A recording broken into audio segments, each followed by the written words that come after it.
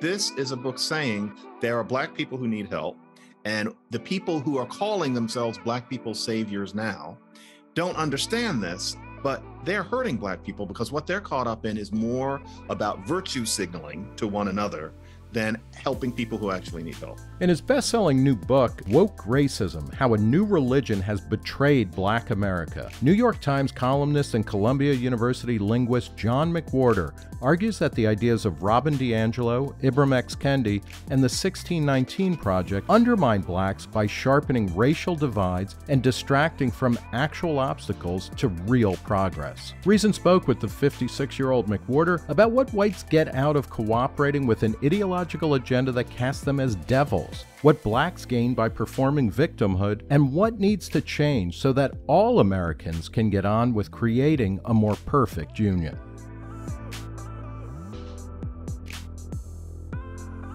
John McWhorter, thanks for talking to Reason. My pleasure, Nick. Good to see you again. Thank you. Uh, let's uh, get right to woke racism, how a new religion has betrayed Black America. What's the elevator pitch for woke racism?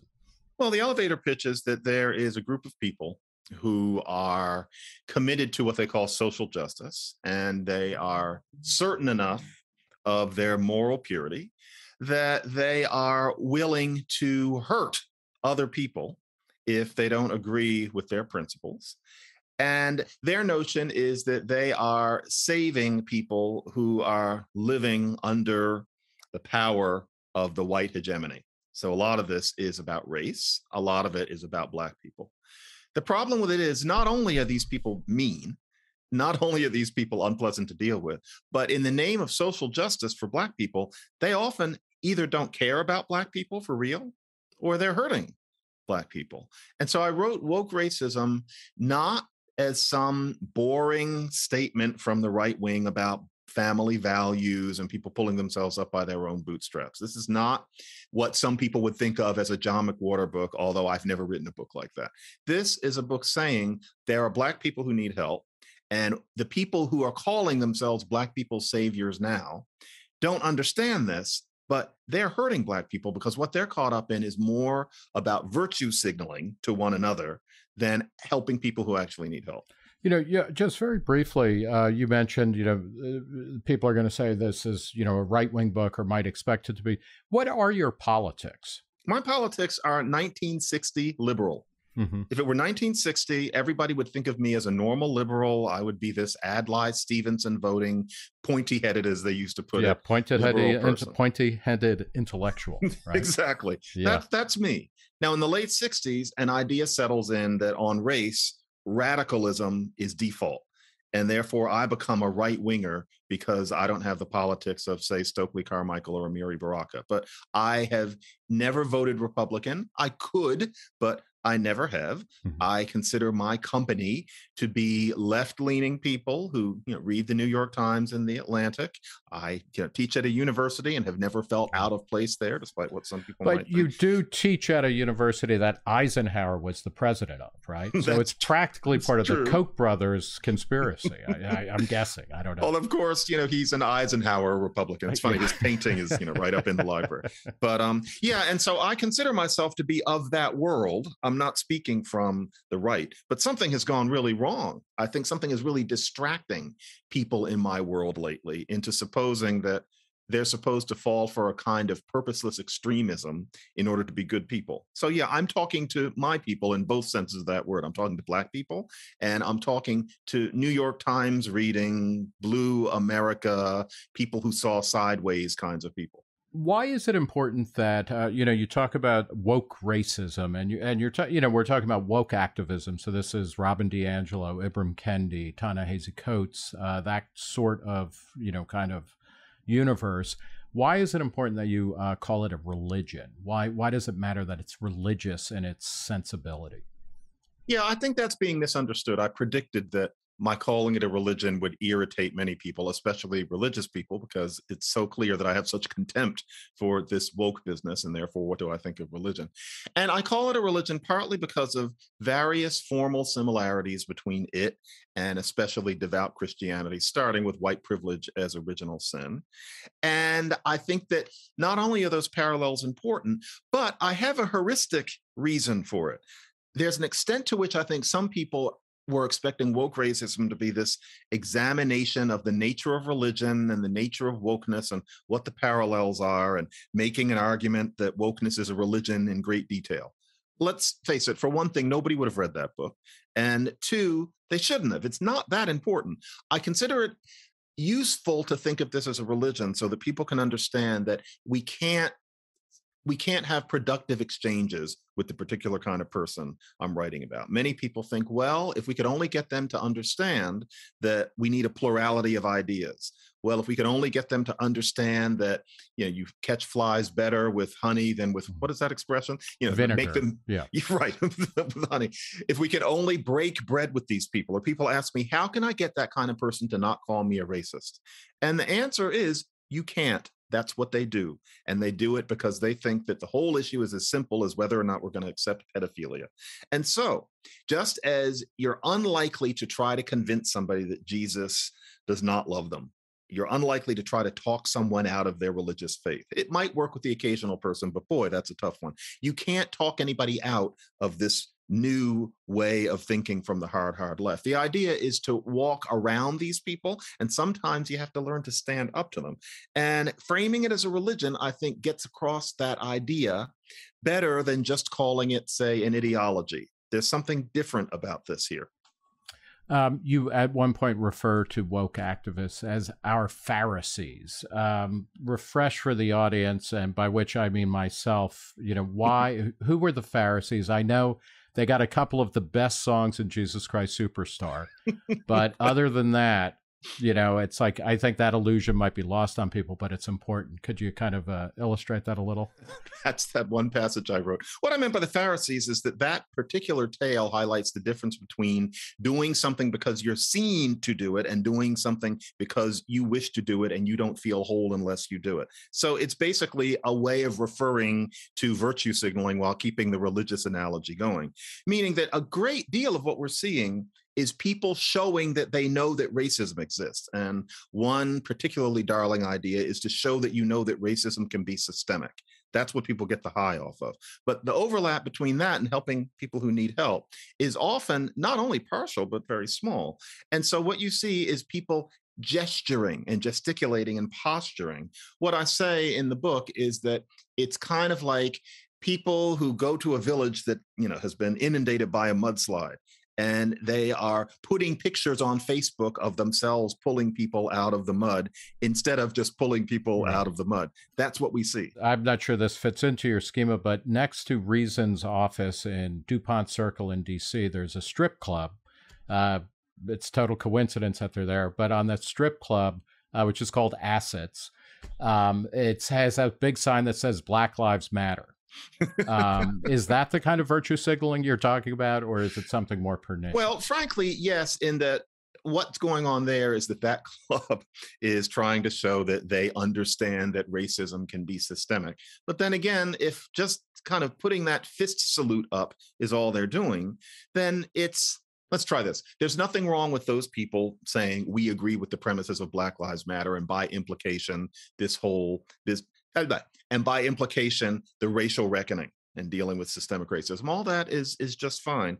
But if that is the soul of this entire racial reckoning, we're in trouble. I don't cringe when I see BLM signs, but the thing is, a great many people pretend that they're doing anything other than that. that so, if the assets management is actually redistributing tips towards black strippers rather than white or and i guess asian strippers lose in this too. That would be better especially okay. if the people they're they're dealing with are disadvantaged and could use the extra help. Although i wouldn't take them especially to task but that signaling is the general feeling of this entire supposed racial reckoning. When you you know you critique the the term systemic or systematic racism uh, white supremacy uh, we should talk a little bit about what people mean when they invoke white supremacy. But isn't uh, I mean, is it your contention that race uh, racism, which certainly was, you know, it was systemic. I mean, there was for most of the history of the United States, uh, there were laws that specifically and clearly said if you were black, if you had one drop of black blood, you're not you're not sitting here, you're not eating here, you're not working here, you're not welcome here, you're not learning here. Um, are we past the age of systemic racism? Well, if we're talking about racism in the present tense, it's much harder to identify than racism in the past. I don't like that term, not because of the systemic, but because of the racism part. I think it's a real stretch of our cognition to go from racism being an attitude to racism referring to inequities within a system that are racial. And I think it's dangerous because you end up talking about inequities that are of very different nature and you refer to them all with the term racism, which implies that there's this one particular issue, and we can't help thinking that it's partly this emotion, this bias, and that therefore we can fight the racism. And it distracts our attention because we think, well, bigotry must be part of that in some way. And in general, all of these things will go away if we just fight the racism. When really the problems are often due to all sorts of things today, even if they were due to racism in the past. It's uh, it's a dangerously oversimplified way of looking at the complexities and the inequities in a society. But yes, and so for example, redlining. This is what I mean by complexity. Redlining. Go back to a redlined neighborhood in 1950. Most of the people in it were white. That's something that we don't talk about. Redlining was not as racially targeted as a lot of people seem to almost want it to have been. It was about class. It wasn't it wasn't about skin. Nevertheless, a vastly disproportionate number of black people proportion of black people were caught in these same neighborhoods and so black people suffered disproportionately from redlining is that the reason today that a certain wealth gap between white and black people exists and the answer to that is to some extent yes as always, if you actually look at the numbers, if you distinguish between medians and averages, if you distinguish between regions of the United States, if you distinguish between social class, the wealth gap is not what people say. Nevertheless, once you clean up all of that, certainly the fact that so few Black people could build up equity back in the day, and not that you know, long ago, that was a matter of racism. But today, to look at the wealth gap and say, well, this is systemic racism, no no the racism was way way back in the past the, why black people were disproportionately in the red line neighborhoods. Today there's an inequity. What do you do about it? Do you give black people a certain amount of money? Do you give black people houses? How much of a house how much money it's complicated and that's usually not really what people mean so what are we talking about that it is racism that's a very conven- that's a very odd way of using tense here. Racism did something that created a disparity today. It's it's subtle stuff, but the way we talk about it makes it all seem much easier than it ever was or is. Yeah, at one point in the book, I mean, you're in, in your late fifties, so you, you were born in '65, right? Mm-hmm. Yeah. So I, I like to say mid fifties, Nick. Mid fifties. I'm sorry. What did I? I'm, I'm speaking for myself. Excuse me. I'm I'm in my pre sixties, so um, but um, you you write at, at a certain point, and this stuck. Uh, it, it, really stuck with me partly because I'm of a similar vintage. Um, but when you look at American culture in 1960 and 1970 on the issue of race, um, something f- really you know, I, I, you know, really amazing happened. There was a massive transformation. Can you talk a little bit about that and why, you know, and then why isn't that kind of you know sea change in attitudes as well as laws mores and things like that doesn't seem to factor in. It's as if we're still talking about things before 1960 yeah it's really interesting what happens in america in between those two years 1960 and 1970 completely different worlds. 1960 is when the two parent family is still a norm even with with poor black people and i'm not saying that we need family values i'm just saying that that would throw a lot of people in time travel back to 1960 welfare is a mean spirited little program where you've always got the social worker knocking on the door and you're encouraged not to stay on it for very long. That's what welfare was like. And there's a general idea that how martin luther king looked at things was the standard and reasonable way of thinking about race. Let's get rid of segregation, view people by the content of their character. Let us show what we're made of, was the idea. You go to 1970, and there's this whole new mood. It's the Black Power mood. The new idea is we can't do our best because you won't let us, and therefore you have to accept that we won't do our best and that sometimes we'll do our worst. And gradually the notion settles in that doing the worst or not doing your best is almost what Black authenticity is, because you therefore stand as a totemic demonstration of white racism. 1960, racism is about segregation. By 1970, it's standard in certain circles that racism is still present and indestructible because it's it's structural. That that starts then, and because of the, the welfare revolution in 1966, it starts to become regular for people to just stay on welfare with no one concerned about whether they get job training. The knocking on the door gradually dwindles in the early 70s, and it becomes this multi generational program. It's not anybody's fault. People live from week to week, but that happened. Black America turned upside down between 60 and 70. And I always have to watch out because I was born right in the middle of it. And so it's easy for me to think that somehow before my life is different than before after. But really, it's just an accident. It's also just an accident that television and film started being in color right after 1965. But right. there really was a, a change. And I have a nostalgia for a time I didn't know. I think that civil rights up to about 1966 and Stokely Carmichael and people yelling Black Power and not knowing what it meant, that's where it went wrong. And we're still stuck talking about these things the way those people did. So let me ask you this. Um, you know the uh, uh, woke activism is you know it's fundamentally it's it's a, a, a, kind of move or a rhetoric that puts blacks in charge in the sense of they are the people that everybody needs to uh, you know discursively rhetorically they are the people that everybody has to heal or make whole. They they're the victims. We owe them something. Um, there's people like Robin DiAngelo who's white. Uh, I'm glad to see an Italian American getting in on some of this action um, but um, you know, it's it's you know, it's mostly for black people. What do black? Uh, or first, let me ask you, what do whites get out of subscribing to a kind of you know massive meta theory, a meta narrative that makes them virtually irredeemable and and sinners in the hands of an angry uh, mob at this point? Because when you acknowledge that you are polluted in this way, that you're a sinner, that you're complicit, it makes you goodly. You are morally ahead of the curve and you can share that with other people. It's the beginning of what you could call a religion. It feels good to be ahead of the curve and to preach it, to teach it to other people. And so you feel good. I remember this is not in the book, um, and I don't use this anecdote much, but I remember way back in 98, I happened to be at a party. It was in the Bay Area, little party, and it's about six o'clock p.m. The sun is coming in. The, it was the place looked kind of like your your place, and we were drinking white wine, and it would the first new Star Wars movie had come out, and this white guy who's just the type walks in and i wasn't thinking about these thing, things then but i remember the impression this guy made on me he had just seen the movie and not everybody had seen it yet and somebody said i'm going to call his his name was probably jason so so jason you know, how was um, Phantom Menace or whichever yeah, one it was? It. And um, oh, he said, oh yeah, well, I don't know, this Jar Jar Binks, he had he had an accent. It was like it was like racist, so I don't know. That was just this passing comment, and everybody nodded.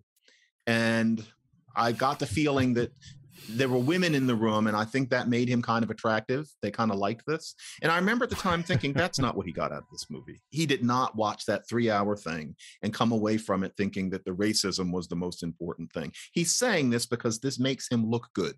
That was an early version of this. That has now gone, you know, far beyond just this one guy. Now that's a standard attitude among people like him.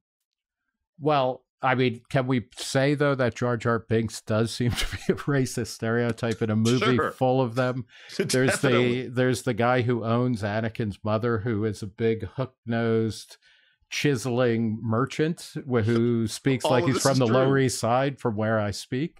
This is uh, all true. Yeah. So, and I mean, but this is the thing. Back then, in a way, it was so long ago that people weren't as sensitized to it. Today, I think we would watch that movie and instantly see this. But in 1998, it was forced. It was it, he was Mhm. trying to seem like he was ahead of a certain curve, and I don't so think he was that's performing. i mean me. he's kind of like a cool hunter or or you know woke act white woke woke activists are kind of like cool hunters where they are you know they're the they're michael pollan but for racism rather That than is magic precisely mushrooms. it. Exactly. Yeah.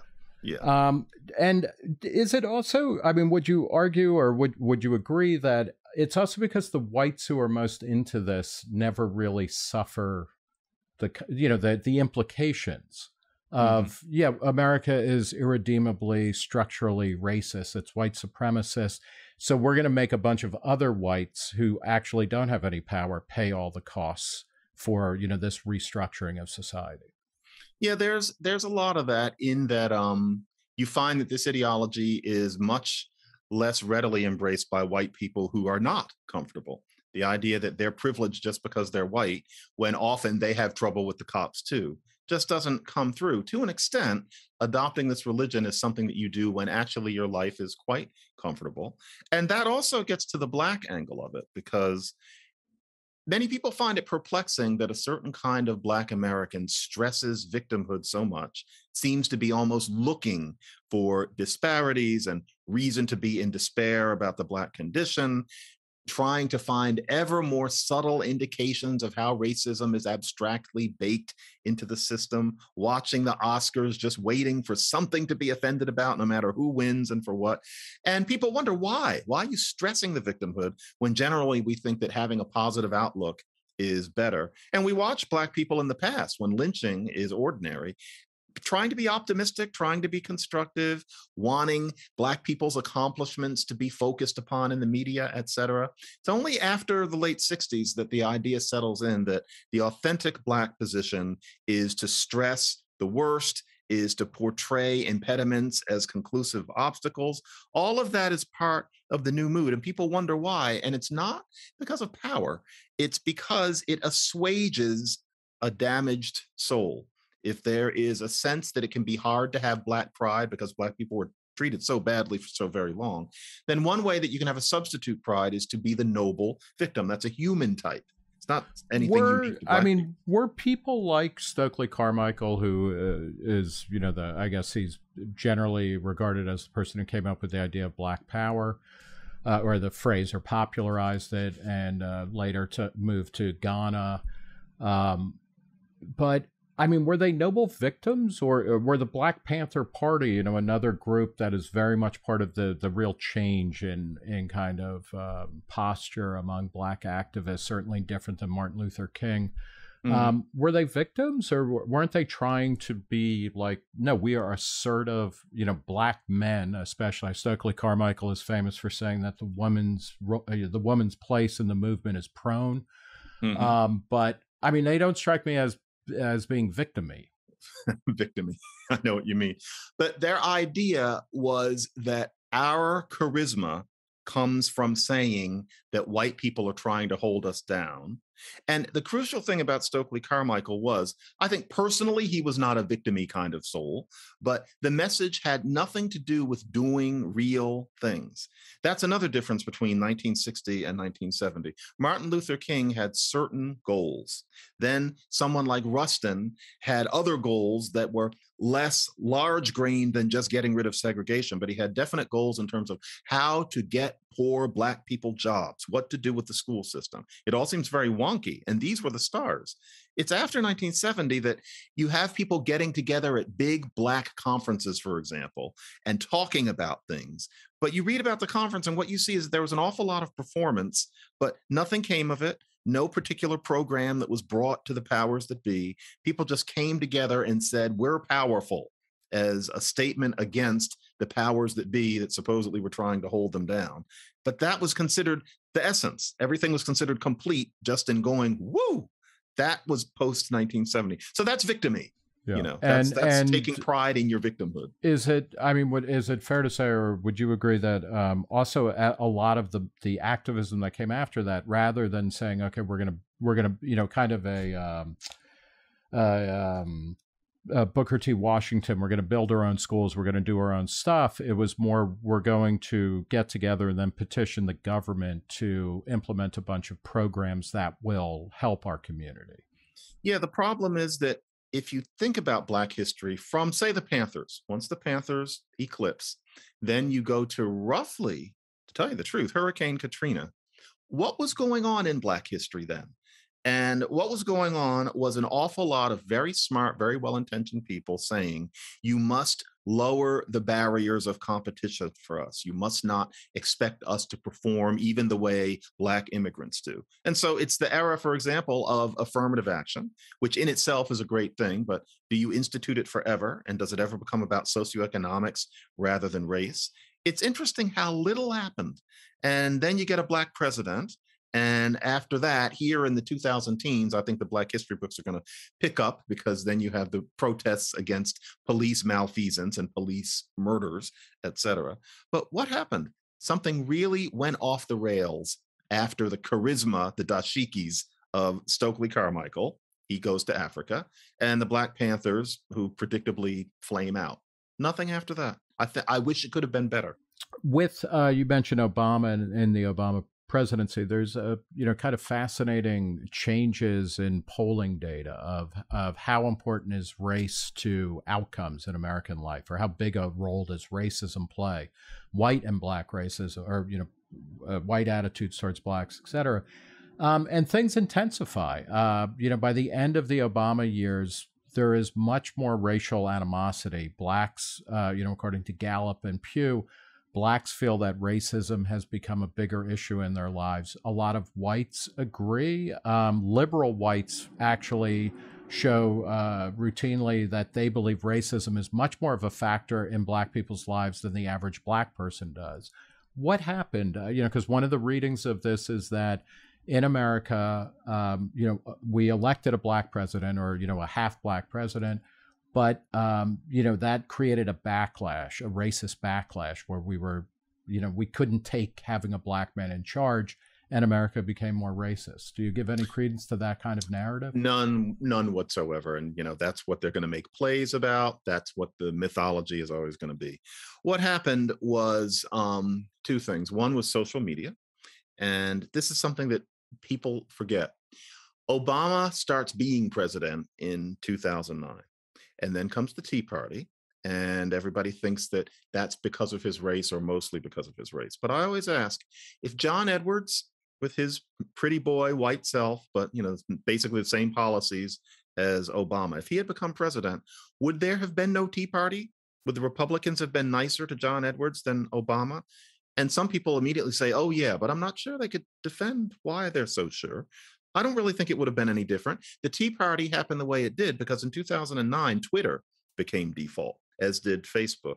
Those things completely changed the contours of our lives, even more than cell phones did.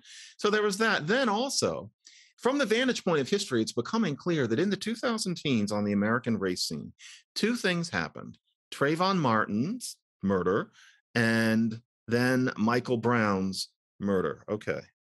And those two things taught educated America and beyond that Black people labor under the threat of being unjustifiably killed by stray or racist white cops. And the saddest thing in the world is, and I really mean this is sad, is that it's become quite clear over the passage of time that the way both of those events were portrayed was complete myth. And I was behind the people protesting both of those cases in the press at the time. I now feel fooled, just like we all feel fooled by bless his heart, Colin Powell. What happened to Trayvon Martin was not that he was killed unjustifiably by George Zimmerman. It was a it was an unfortunate episode, but Trayvon Martin was also a very different person than we're led to think. And then also with Mike Brown, it was a lie. It was just a complete lie. For reasons we'll never know, he kept on charging at that police officer. The idea that Darren Brown just shot this guy dead with his hands up in the air is is, is false. And yet those two things had an awful and lot I, to do. I'll just uh, point out that uh, uh, Obama's Justice Department, uh, headed by Eric Holder, himself African American, actually did an exhaustive investigation of the Michael Brown killing and came to the conclusion that you just yep. Uh, articulated. And yet the myth will never die. I hear black men on the street talking about Mike Brown to this day. Hands where, up, you know, don't just, shoot. On some level that yeah. happened. There's going to be a movie, I'm sure. Where having said that, I mean, it was useful. I think uh, the Brown uh, incident in particular it did kind of reveal a system of peonage that whole communities, particularly poor communities, uh, often disproportionately black, were held under. When you look at places like Ferguson, where you know the, the tickets, the amount of tickets that that cops would give out for speeding and other kinds of violations to uh, gin up their own uh, budget. That was a useful outcome. Yeah, that was real. And there are things, there are times when something is going on, there's a racial disparity where it really does need to have the whistle blown on it. And so, for example, stop and frisk in New York City had gone way, way too far. Right. I wrote about that often, made a lot of people mad. Yeah, you can't you can't uh, wish that away. There just comes a time when you have to get rid of any ideology you might have. Yeah that that had to go. And with ferguson yeah you learned about how unjust just policing in general and all the fines being levied were. But the thing is, the level of fury, the level of property destruction that happened in Ferguson was about Mike Brown.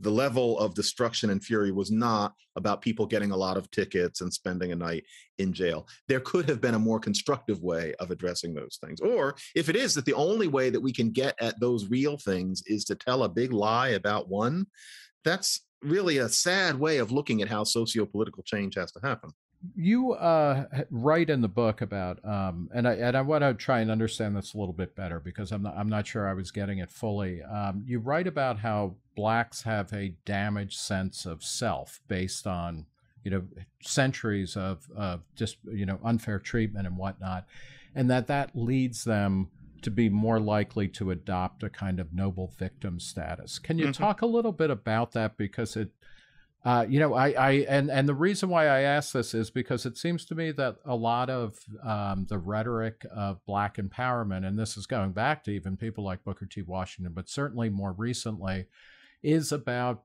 you know act, not not struggling vainly but actually overcoming things and accomplishing things and i think about it in other and i realize there are you know serious differences between other immigrant groups and blacks but um, you know it, it seems there's a lot of similarities and that it's you know it's uh, you know ascendant groups valorize success not mm-hmm. failure mm-hmm. but you seem to be saying that blacks are kind of stuck in a permanent failure mode yeah, and only for about the past 50 years. That was not the case until the sea change that we talked about in between 60 and 70.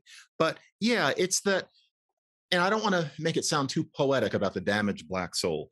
It can be hard to have pride in Black history. It's one thing to say some things about Sojourner Truth, etc., but it's another thing to perhaps think wow, there was all of this destruction, there was this pain, families were broken up, we were always down on the bottom, and we tried and we tried. That can be a hard history to be as proud of as we might like.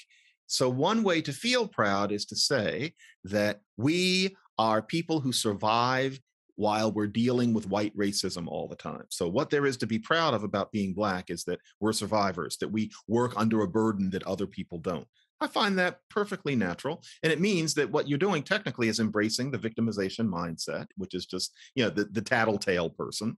But if it can make you feel good and if it can give you a sense of group membership, then you'll do it. Only though, does this make sense when you're not really a victim. This is something that is especially embraced by Black people who really pretty much have it all taken care of. And then you can pretend that, for example, you endure racism every day, every day, every day, as I see people putting on Facebook. Now, no, you probably don't, but it makes you feel good to cast yourself as somebody who labors under that kind of a burden. Humanity is a weird thing. And that's, and that's what you see with Black people of that type and that persists even in a culture where you know black culture is, is you know in many of its kind of uh, manifestations is idolized in american culture. Um, you know people want to be black in a way that I, among white ethnic groups i think only irish people actually come close to that. Uh, there's i've met a lot of white people and even some black and asian people who want to be irish if they can pick mm-hmm. their ethnicity.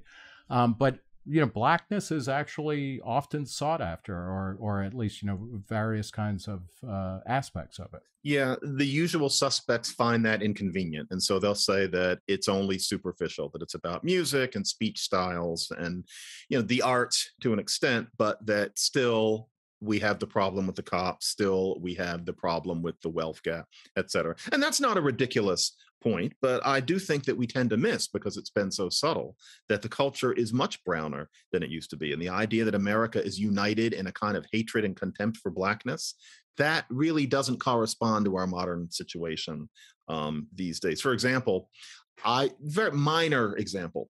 I was listening to the cast album of the musical Annie in the car yesterday because I had my six and nine year old girls in the car. You are just throwing your privilege at me in lower Manhattan without a car or without daughters for that matter. yeah, okay. So I live where, where does this uh, take us? Where does this story go? This is going to go that the girl who played Annie in 1977 is this very white girl and she's chirping. And I remember thinking, it's interesting that Annie now lives with almost the default choice being for any national Annie that Annie is brown.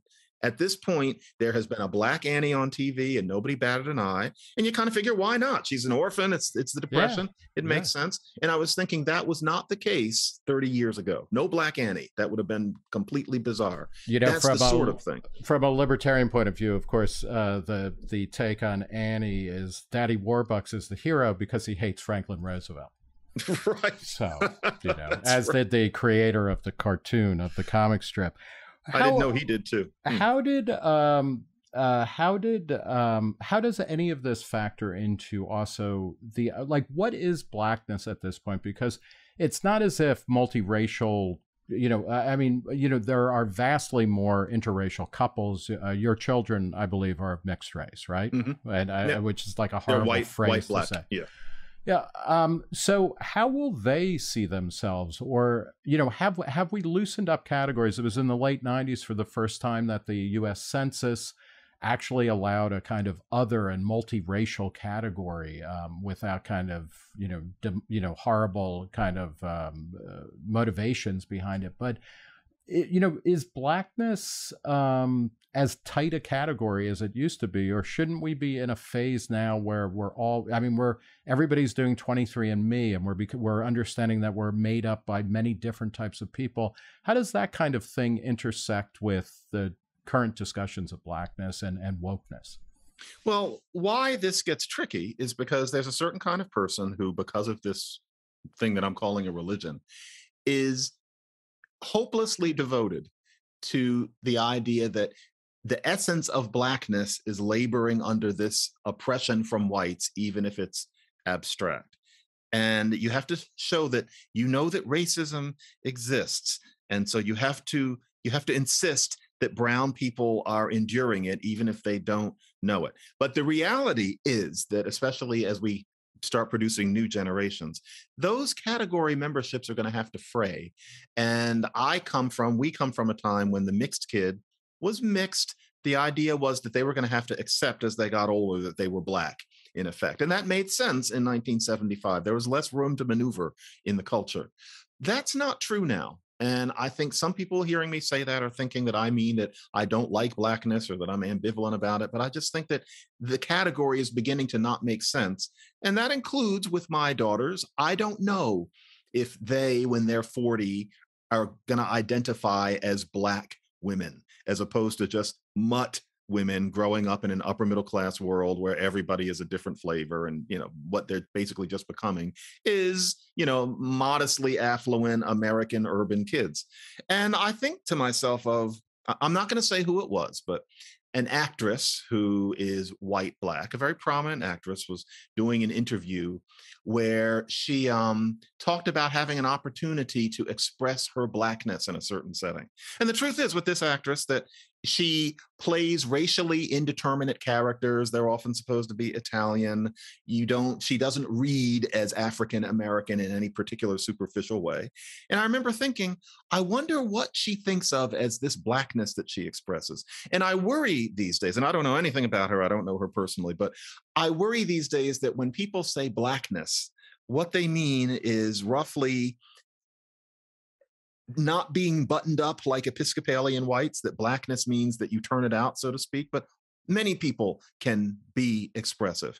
I worry that blackness is thought of as roughly jamming that and I'm and I mean this as more than just dancing, but that there's something that black people are in touch with in terms of rhythm, and that it's that, and that blackness is not being too exact. And we're seeing that in so many educational materials. And I think it runs throughout the culture.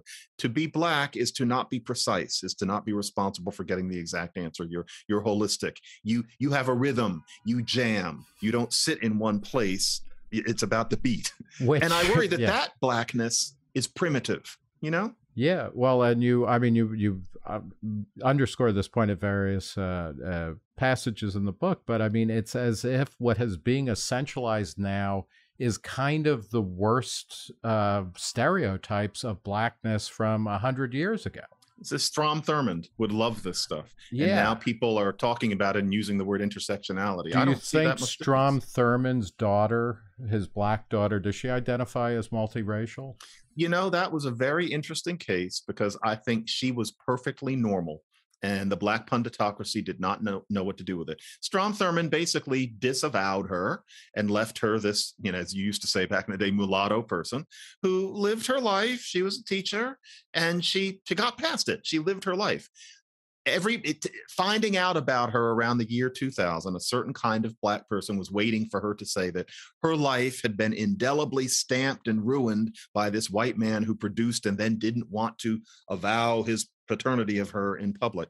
But she just kind of thought i'm a human being i'm living and she probably had some awkward encounters here and there but she wasn't living by it and luckily i get the feeling she didn't strike me as a an especially self-aware person so she couldn't even pretend. She's just being herself and wondering why everybody's paying so much attention. I think that's the normal way people deal with trauma is, as opposed to what we're encouraged to do today. Yeah uh, talk a little bit about that. I mean how much of the kind of racial discourse is is part of this larger um, yeah i don't know if it's valorization or you know kind of uh, belief and in trauma that everything is trauma i mean it seems as if uh, you you talk about surviving and the minimal self uh, from the early '80s. Christopher Lasch has a passage about how the term survivor slipped out of uh, post-war concentration camp narratives of people who survived, you know, death camps in Nazi Germany and some gulags,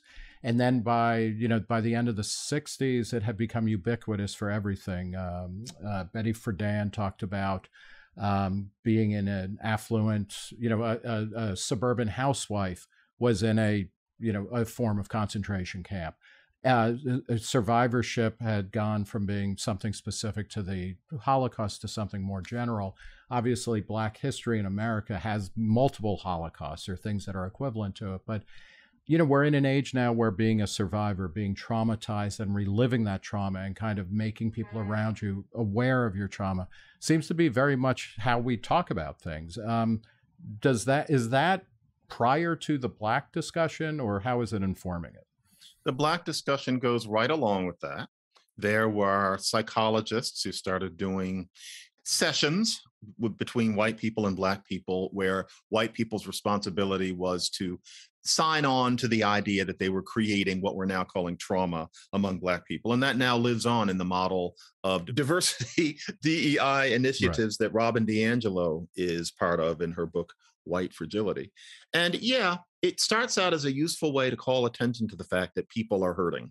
It's an analogy. So of course somebody who's been teased in school hasn't suffered the way somebody did in the Holocaust, but you can say that both people are survivors. But once that settles in and people stop processing it as extreme, you do have this usage of the term, kind of like the way we use the term racism, that stops being really terribly useful and sometimes can be almost manipulative and even destructive of a person because if you are instructed to think that whenever somebody hurts your feelings a little bit you've suffered a trauma and you're a survivor well, if that's the way you're going to feel about it, you're not going to enjoy life very much unless you basically live in a basement or are an astonishingly boring person. Stuff is going to happen to you. And we now teach that you're not, you're not supposed to just brush yourself off. You're supposed to call attention to yourself as a victim. And that's supposed to be okay because people are, especially when people are descendants of African slaves. I'm not sure I see the logic in it, but that's what we're being told. Hmm. Uh, let's talk about uh, your uh, the sections of the book where you d- you don't merely kind of uh, piss on you know woke activism, woke racists. You talk about um, ways to you know make things better for Black Americans, um, mm-hmm. and at, at a certain point. You suggest three planks to make America better, uh, and they are simply end the drug war, teach reading properly, and get past the idea that everyone should go to college. Let's run through these quickly. Um, you know, first, uh, end the drug war. How is that? You know, why do you say that's a concrete thing that will actually help Black Americans? Because it'll eliminate the black market that you can make half of a living on. If there's no black market selling hard drugs on the street, you can't do that. You can't drop out of school and do that. You can't do that after high school. There's no way to avoid getting some kind of legal work. And that's not always going to be fun when you're from an underserved community because life is hard. And if you've grown up somewhere where you aren't taught well and you aren't taught how to do anything, you've got a problem, which means that not only do you end the drug war because it destroys Black communities by creating that black market temptation that sends people to prison and often to you know, death, but then you also want to have something to catch those men.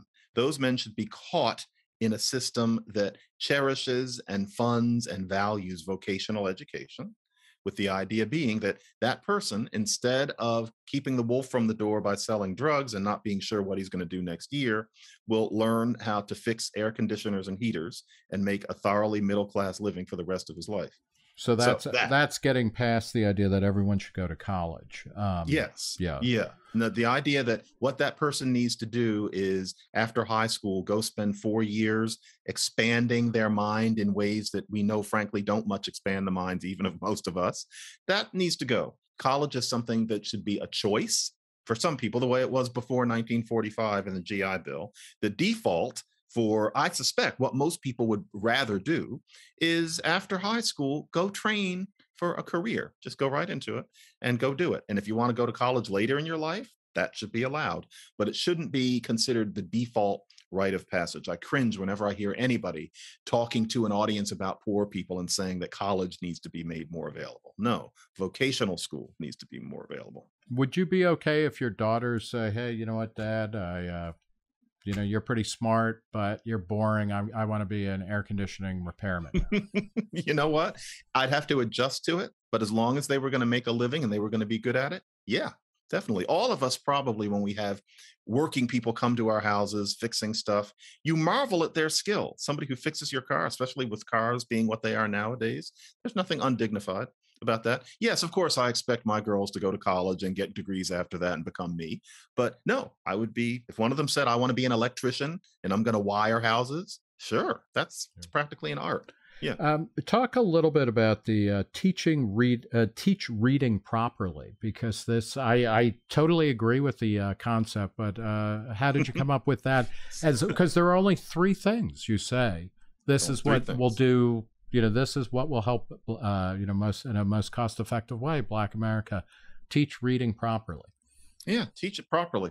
The reason that sounds so wonky, and I think it sounds like I must have some sort of particular commitment to pedagogy or small children in school. Or you, you are you are invested in Hooked on Phonics 3.0 or something like that. yeah. or something. It's not that. It's that I know from for various almost random reasons that something that keeps kids, especially ones not from book-lined homes, from engaging with school is being taught reading wrong.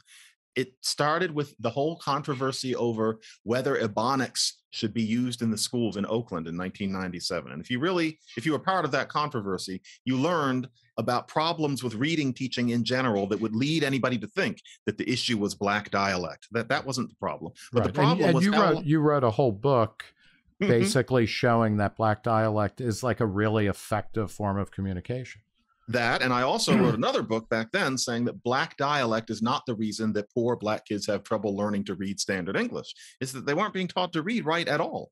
And so if you've got a good phonics program you've got a kid who will not around eight years old turn away from school because they just find reading too difficult. And like i say in the book i'm not sure how many people have the experience who are reading this book of knowing somebody who's about 25 years old grew up, you know, the hard way, or maybe even just slightly hard way.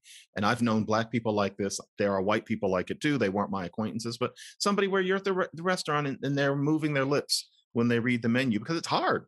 And you know, menus are tough to read. And here they are having about as much of a challenge with the menu as most of us would have if the menu is all in French or Spanish. Like we know the language pretty well, but you really don't want to read that much of it. And you look at somebody like that, and almost always it's somebody who went to a school where they basically just threw some kid books at them and had them take it in by osmosis. That's not how you teach people how to read.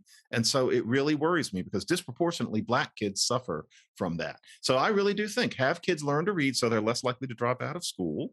Then you have them when they leave school, no black market within the neighborhood where you hang out with the buddies. And, you know, that's I completely understand why people would choose that but that shouldn't be available. And then what should be available is good, solid vocational training so that they can go out into the world and lead the kinds of productive lives that often their grandfathers did. I'm modeling this on Black communities in big cities in, say, 1949. That was no paradise by any means, but most Black men worked legal jobs. It was better. That so do you, I mean, do you think that the, the issues with kind of black achievement, for lack of a better term, it's really that black men are not are not holding up their end of the bargain?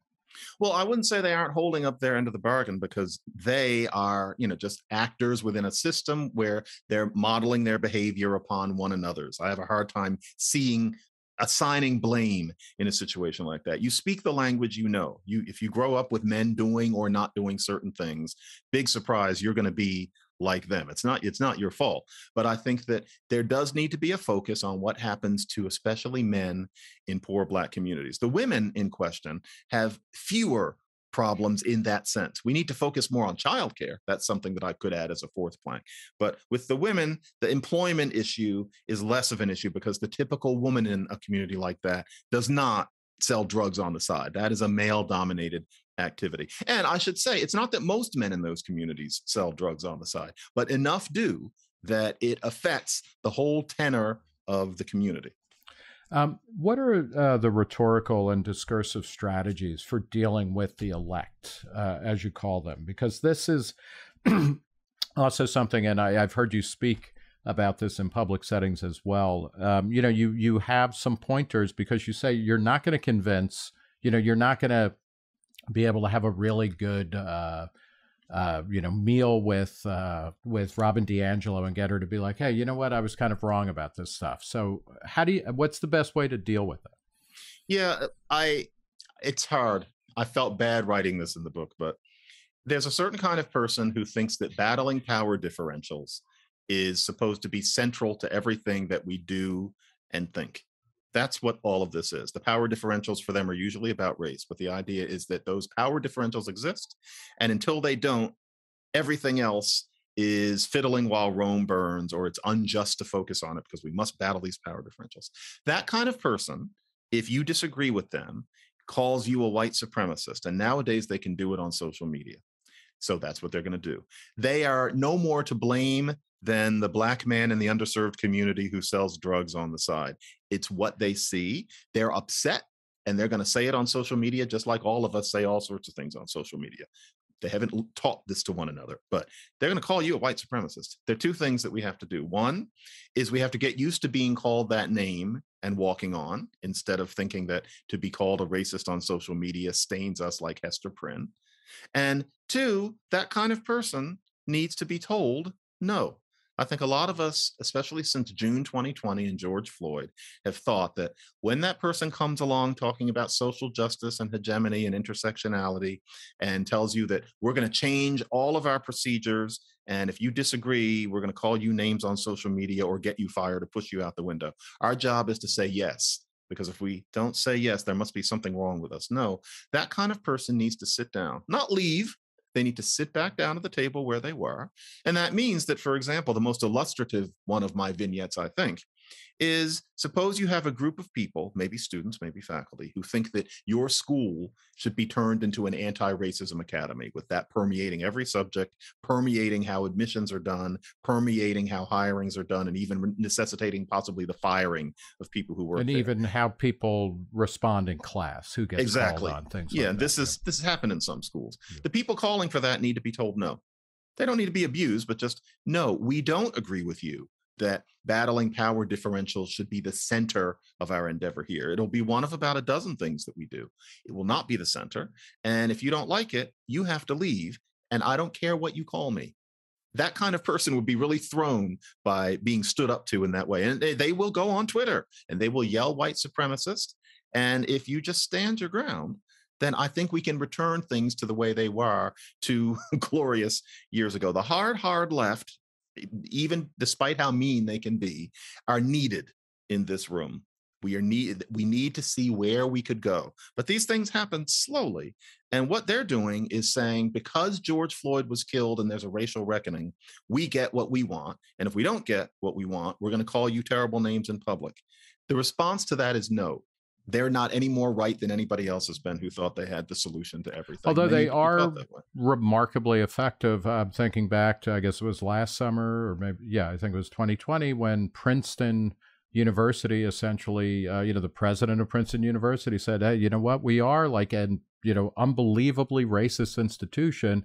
Uh, weirdly, the Trump education department called their bluff and said, if you are that racist, we have to investigate you and look at you know pulling federal funding from you. You're That like a segregation academy. the one good thing for me that came out of the Trump administration was that move because it showed how utterly fake a lot of this stuff is. And Princeton, unfortunately, has been the site of an egregious amount of performance on this kind of issue where there are people who need to be told simply no.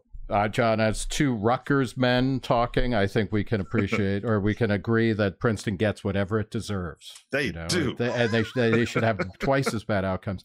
Who are your, um, you know, you are a linguist by trade. Who are your heroes in linguistics? Uh, and then who are your heroes in kind of your, you know, as you write more about broader kind of social issues, uh, particularly dealing with blackness? You know, who are who are the people who who inspired you to to start thinking the way you do? Shelby Steele is the person who changed me um, on race issues because he showed me that you can feel the way I do and not be crazy. He really, that was my inspiration.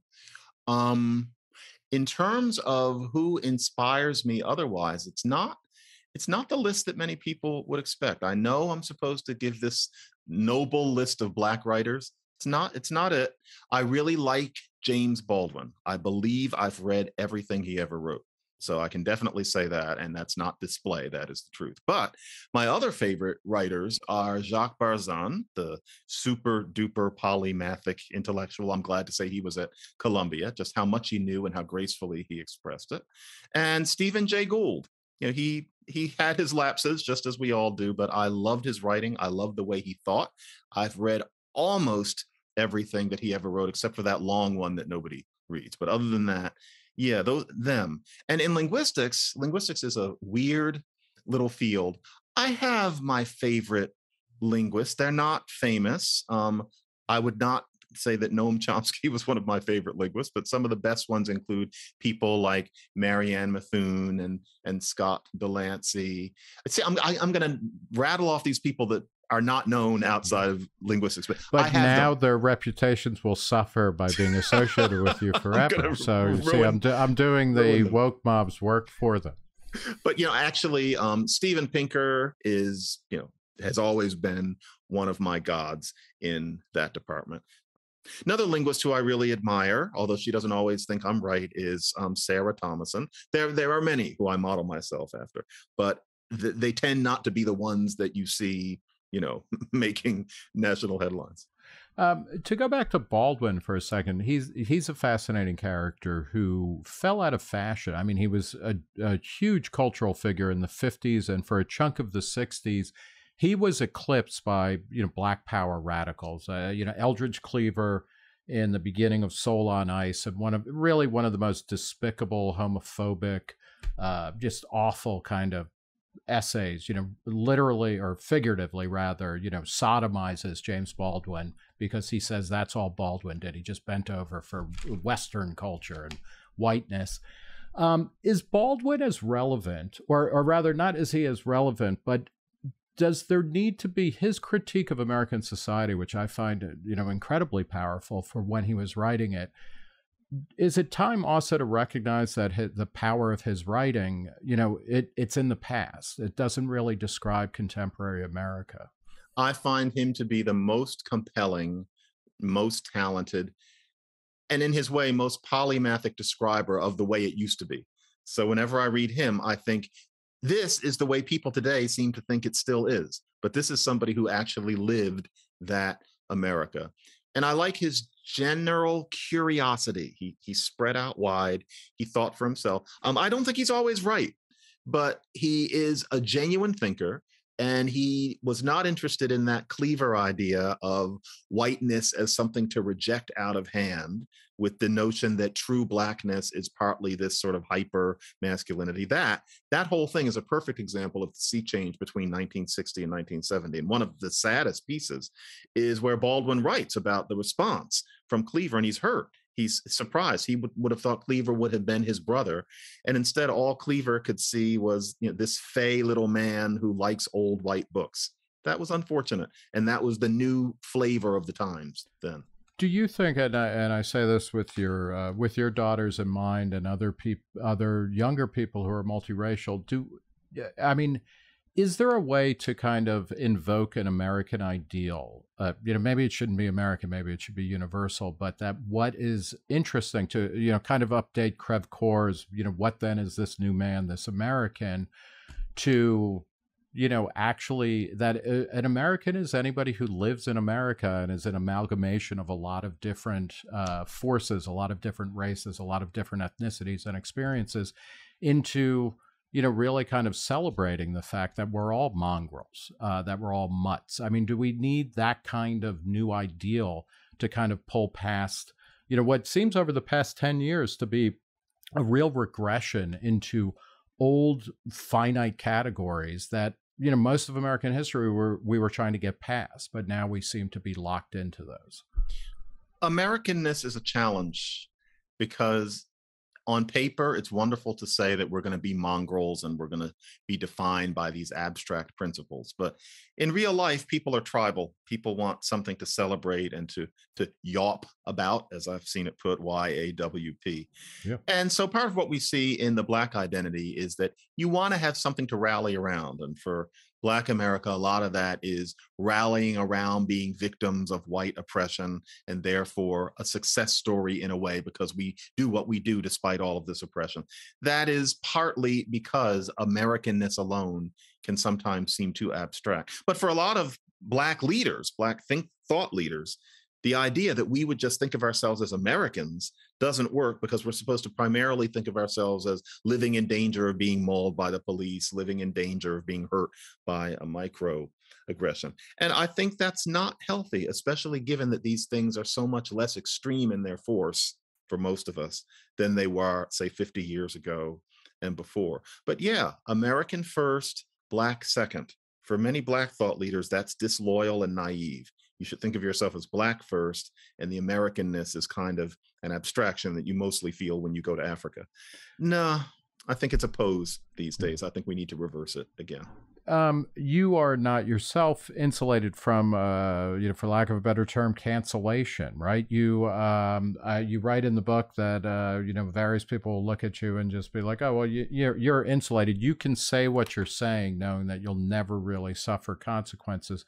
But that's not quite true, right? You're not tenured faculty at Columbia. You're not in a Mm-mm. tenure situation there, Mm-mm. and you are um, you were recently hired at the New York Times, uh, mm-hmm. which is kind of a sign that maybe the Times isn't as monolithic as you think. But I, I mm-hmm. assume that you.